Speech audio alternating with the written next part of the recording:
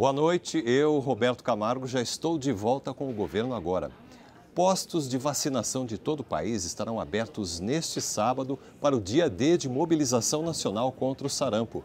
A campanha, que começou em 18 deste mês, é voltada para jovens de 20 a 29 anos. A meta é vacinar 9 milhões e 400 mil pessoas. Atualmente, há a confirmação de 11.896 casos e 15 óbitos pela doença no país. A maioria dos casos está concentrada em São Paulo, principalmente na região metropolitana. Uma portaria do Ministério da Economia vai auxiliar na regularização fiscal de cerca de 1 milhão e 900 mil devedores da União.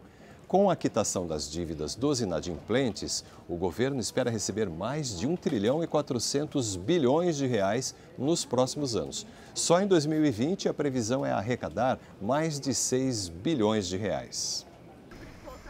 O principal objetivo da portaria é permitir que o contribuinte que não cometeu fraudes e está devendo para a União possa pagar o que deve. Quem entrar na negociação tem a cobrança do débito suspensa e é excluído do CADIM, a lista de devedores. São duas as formas de renegociação. Quem tem débitos maiores do que 15 milhões de reais pode receber uma proposta da Procuradoria-Geral da Fazenda Nacional ou fazer sua própria proposta. Mas se a dívida for menor, basta que o devedor entre na chamada transação por adesão. Neste caso, ele recebe uma proposta e, se aceitar, tem acesso ao parcelamento em até 180 meses e a possibilidade de amortizar ou liquidar a dívida com precatórios fiscais, por exemplo. Esses descontos de até 50% sobre o total da dívida, é, sendo que ele pode aumentar para até 70% no caso de devedor pessoa física, empresário individual, microempresa, empresa de pequeno porte ou empresas em recuperação judicial.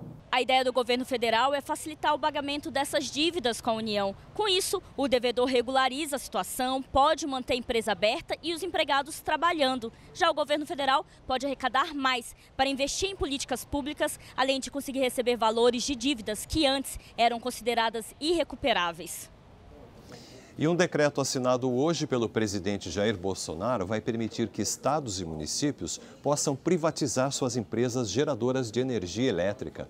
Uma vez na iniciativa privada, essas empresas poderão migrar os seus contratos para o regime de produção independente e assim negociar a energia no mercado livre. Com o processo de privatização, União, estados e municípios podem arrecadar recursos para equilibrar as contas públicas. Para fazer parte do processo, é preciso que a outorga em vigor da concessionária pública tenha um prazo de vencimento acima de três anos e seis meses e a licitação seja concluída em, no máximo, 18 meses antes do fim do prazo de validade da concessão. A gente fica por aqui. Acompanhe logo mais às 8h15 da noite o Repórter Brasil. Uma boa noite para você e um ótimo fim de semana.